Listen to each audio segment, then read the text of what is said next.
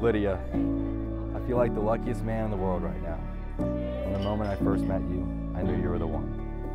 I realize that sounds ridiculous and cliche to say, but all of us have experienced moments in our lives that stay with us for a lifetime, and meeting you was mine. I felt like the world stopped turning around me, and you and I were here alone together. I'll never forget the first time we kissed in the middle of the street in Chapel Hill, and it was the most amazing feeling I'd ever experienced. I told you at that very moment that I was jealous of the man who gets to marry you. I think from that second, we both knew that we were destined to be together.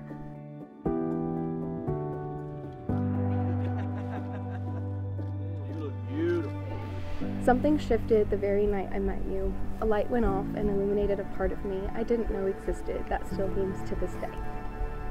The way we spoke and stood there it just felt warm, almost like we'd known each other for a really long time, as inconceivable as that sounds.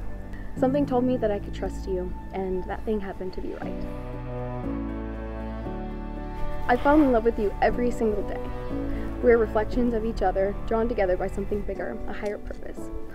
I love you for all your strengths and weaknesses. My prayer is that we always love each other as Christ first loved us and never take a moment together for granted. I love you and I can't wait to spend my life with you.